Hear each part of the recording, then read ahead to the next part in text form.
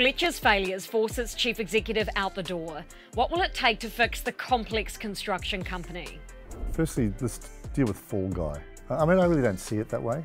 How much of the convention centre is my fault? But I'm the leader and I'm accountable. So you can't defy gravity. Mostly all of Fletcher Building is right. The new leader has a fabulous business, very well positioned. It'll be great to cheer from the sidelines, actually. It's Friday, the 16th of February, and you're watching Markets with Madison.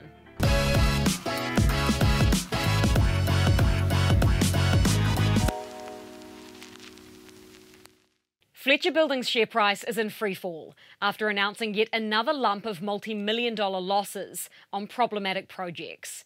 It's so bad the Chief Executive Ross Taylor and Chairman Bruce Hassall have tendered their resignations. But the pair are just the latest fall guys. There was more before them. Fletcher's has become synonymous with failure. The country's biggest construction company is in the red again, making a $120 million loss in the half year off more than $4 billion of revenue. It's been tainted by hundreds of millions of dollars in losses on legacy projects like the fire damaged SkyCity International Convention Centre, which has blown out to a bill of around $1.2 billion. Fletcher still hasn't received an insurance payout for it. It's now facing a new issue with its pipes sold in Australia. Allegations say they cause leaks in thousands of homes in Western Australia, but Fletcher's strongly disputes that. Fletcher's is a complex company. The group is made up of 25 businesses, such as residential building, concrete, and manufacturing products like GIB plasterboard. But construction seems to be its killer. It's been plagued with problems for years. It lost a billion dollars between 2016 and 2018, leading then boss Mark Adamson to leave. The existing chief executive Ross Taylor is the latest man to fall on his sword, tabling his resignation alongside chairman Bruce Hassall. Ross told me his decision to leave was made with the board, not personally. He was in surprisingly good spirits as he took the time to talk at the end of a tough day. Ross Taylor, thank you for your time. Thanks, Maddie. I don't really know where to start, but I guess a good place to start is what's wrong with Fletcher Building. Because it seems no matter the cycle of the construction industry, boom or bust, Fletcher's cannot manage projects right. Is there something structurally wrong at the core of Fletcher Building? So First, mostly all of Fletcher Building is right. If I look at the, the broader operating businesses, excluding the legacy construction projects, they're running well. And I look at even Fletcher Construction with its new order book and the sort of work it's doing, it's well positioned, that's nicely profitable and low risk. We've had to clear in construction legacy projects though that were signed back in the 2016, 17 years, 90 projects. We're through all but one of them the convention centre. And unfortunately, with the convention centre, a very big project burned down in 2019, and it was unforecastable what we had to get through the mould issues, the steel remediation, COVID in the middle, and a litany of other things that went on after that. It just meant that we had to invent ways of redoing it, building it, and then as we understood that, we'd forecasted it, and we've just seen progressive provisions. And really, unfortunately, that's then defined the Fletcher Building accounts every six months. The good thing though is that we're actually now going to finish this in 2024 and with that we retire the last legacy construction project. I understand all the complexities that I can only imagine would come with a fire damaged building, and that's why you keep finding costs in these cupboards. You just announced 180 million that you found. Only six months ago, there was another 150 million. Talk me through the process of how these costs are communicated, because it seems like they're just found as the time you need to report. Like, what, what's that process as to how they're found and they're brought up? Yeah, so we end up in a monthly review cycle, which I attend the reviews at the project level, but they don't, it's a very big project, as you can imagine, and you don't, they don't reforecast every pot of money. And some things are not reforecastable because you've got to wait till you procure something or you've got to wait and see how things go. And I'll give you an example with the steel remediation because it's a, it's a very good example. So what would happen if you built that, the steel in that building from, from a greenfield site when you can build it normally would be 70 million. It's cost us 350 million. So what the issue there is, is that what has to happen is the steel's been damaged by fire, but the steel's behind walls. But when you actually expose it, and then you've got to get all the fireproofing off it, so you've got to sandblast it, and when you repaint it, you've got to put it in a hum humidity controlled environment and encapsulate it while you paint it, otherwise it's not to specification, and then you actually move forward from there. Understanding the cost to do that in a job that complex is impossible. So what happens is you get the methodology right, you start then to do the productivity, then you say, okay, that's what it looks like, you forecast it, but then you get to a completely different part and the whole productivity changes. So what ended up happening on that is we, it's never been done before. So we had to invent it. How do you do that in situ? And then you had to say, well, what's the right productivity rate? It's, and, and that's where the surprises came. And, and there's so many examples like that in that construction. So what you normally do when you estimate a project is you end up with norms. It'll be you do it this quickly in a normal concrete slab or a steel structure, you know the norms and you just times it by the volume. But this was nothing like that. Has there ever been any internal pushback on taking provisions previously?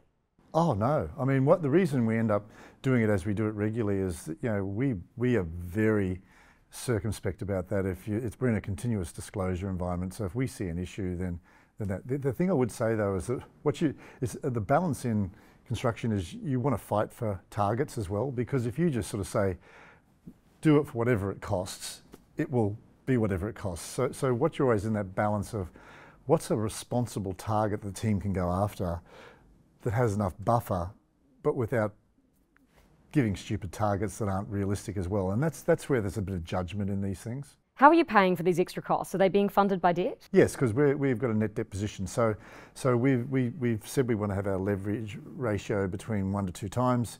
We it's always, now at 1.8. which is what we forecast. And, and, and the, the cap is two, is it not? No, it's not a cap. It's our preferred range. But we've said on our settings we intend to stay within that. So as we look forward, in spite of this, we actually expect to stay within that. Does that mean that there's no headroom for extra provisions until this project is finished at the end of this year? No, not at all, because you can't run your business that way. We, we, are not, and don't read that as there will be extra provisions, because you hope there won't uh, be. I imagine. Well, I think we're through the remediation now, and we're into the we're fully procured. We're into the the, the fit out of the convention centre, so so uh, you know I think we're in a much better place. Um, so we always stress test your balance sheet. So as any company would do, you say, well, if the market gets materially worse from what we expect and the earning, if you have whatever sort of provision, so you always want buffers so you don't, you're not, you, there's no tripwire in the business. So we run the business that way. Speaking of tripwires, you're hoping to get just over $100 million in an insurance payout.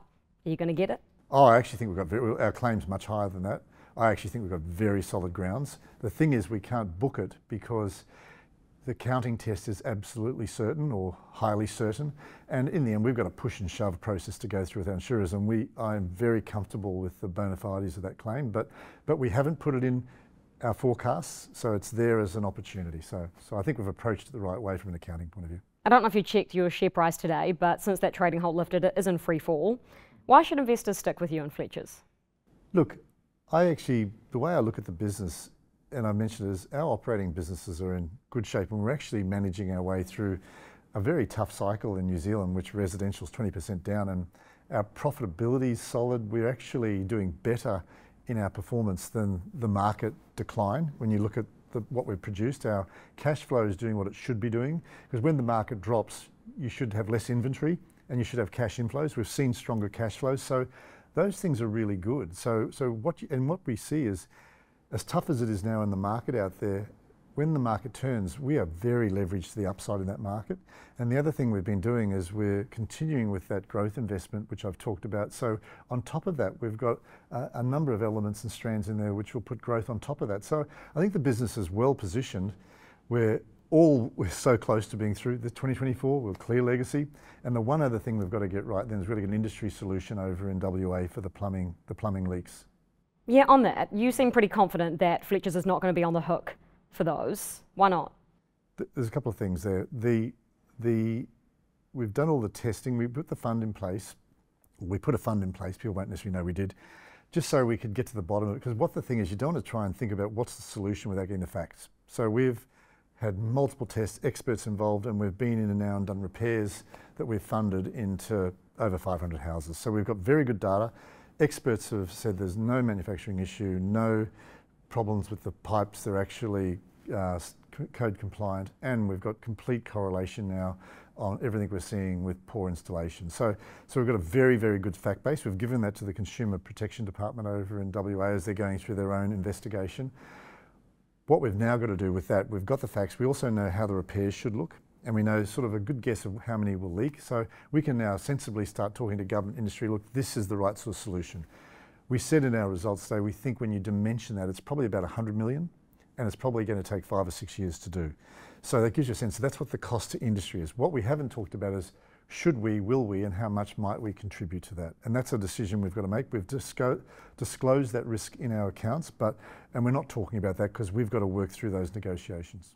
You said that the broader business looks pretty good, but if I look at your divisions here, building products earnings down, distribution earnings down, concrete earnings down, Aussie earnings down, resi and development earnings down, construction earnings down. That's every single division. What should a new leader actually focus on? So, so let me start that. You, we also talked about the market was down. So, so, so, residential in New Zealand down 20%. You know, we're 66% exposed to that. So, so you can't defy gravity. You know, so if there's 60 you know, if there's 20% less volume in the market, it hurts. In Australia, we've seen an 8% decline in the market. So again, that hurts. So what? So we, we have to then manage the business well through that. So so yes, it's down, but as I said, we're down less than what the market background would suggest. So I think we're going pretty well in that respect. The new leader, I think, you know, if, if I think what my focus is going to be, we've got to keep running well through the cycle, and we've got to make sure we get out of convention centre, get it finished, and I want to try and get an industry solution over in Perth. If I can get those couple of legacy issues done, the new leader has a fabulous business, very well positioned, and I, I, think there's a real opportunity to keep driving the performance and then grow it and, and really have some fun with the business in terms of what it might be able to do. Because you look across our safety performance, our customer performance, our employee engagement, and our sustainability, they're very strong. So you've got so much opportunity with this business. It'll, it'll be great to cheer from the sidelines, actually. You're the fall guy today. Chairman Bruce Hassall is going with you out the door. There was a fall guy before you. What do you think the solution is here for Fletcher Building? Do you think it's too complex, that Fletcher has too many facets and it should be broken up? Or should you just be run by a tradie? Could perhaps a builder manage this business because they would know how to manage projects better? So, so firstly, let's deal with Fall Guy. I mean, I really don't see it that way. Um, I, I we, we, as part of getting Fletcher Building where it is today, it's been about getting ownership and accountability in the business and having leaders own their businesses and own their outcomes. And sometimes that's things you make mistakes on, and sometimes it's things that happen that you've got to deal with. And I see what I'm doing here as a really important cultural statement that, you know, I, I, think there's a whole lot of issues and you know things that could say, well, how much of the convention centre is my fault? But I'm the leader and I'm accountable.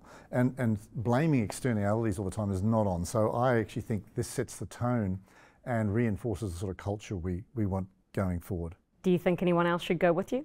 No, I don't. I actually, if I and I mentioned in the team there that I, I actually think they're doing a great job. It's so complex, and they've kept program, and they will get it finished and get a really good result.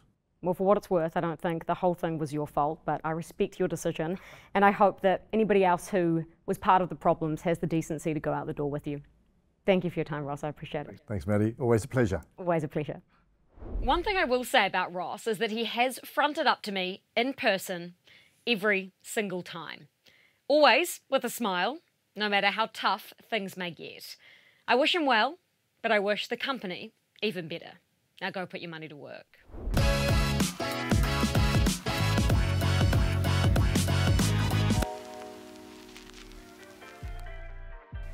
Thanks for watching Markets with Madison, the New Zealand Herald show for interested investors.